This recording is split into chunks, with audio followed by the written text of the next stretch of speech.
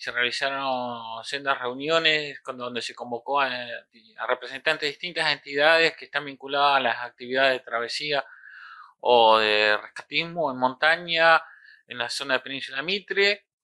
eh, donde se participó además de las autoridades jurisdiccionales de la Policía Provincial, integrantes de los grupos GEVIR tanto de Ushuaia como de Tolwyn, para brindar no solamente información de los trabajos realizados, sino también proceder a un análisis eh, más acabado de la situación por la que se está atravesando, donde se logró determinar a través de lo planteado por el personal que estuvo desplazado en los distintos sectores las dificultades no solamente geográficas, sino del clima, por tan cambiante que resulta ser, con nevadas, lluvias, fuertes vientos, que imposibilitan a veces eh, tanto el desplazamiento terrestre como vía aérea. Eh, por estos momentos, ¿quiénes están, eh, digamos, trabajando en el lugar con, la búsqueda? Lo que se dificulta es la llegada hasta la zona debido a la crecida de todos los ríos que se emplazan en esta zona de la península de Mitre, tanto desde el uno que intente llegar desde la zona norte, como trató el grupo Javier de Tolini y de Río Grande, o de la zona sur, como ha intentado personal eh, que trató de llegar a esa zona vía terrestre.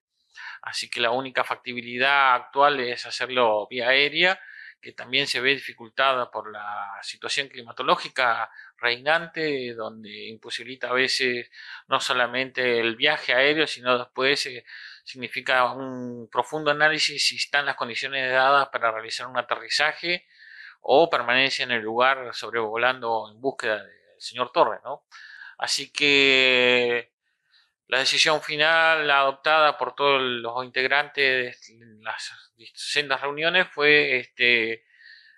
desplegar el helicóptero en el último vuelo que estaba más o menos viable, que fue el día de ayer, llevando una comitiva integrada por personal de Defensa Civil Ushuaia, del Luandino y policía, para hacer base en lo que serían los refugios de Bahía Tetis y desde ahí hacer rastrillajes en ambos sentidos a los efectos de determinar si se encuentra algún indicio de lo que sea paso o de la persona de,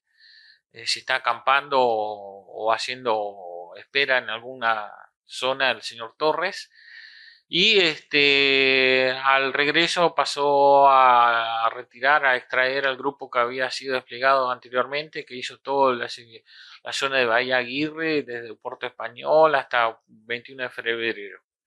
Este, quienes son los que nos trajeron en forma cabal, que el clima es realmente muy duro, mucha nieve, lluvias intensas con vientos cruzados, muchas temperaturas eh, realmente muy bajas. Eh, se habló hasta de 18 grados bajo cero en la zona.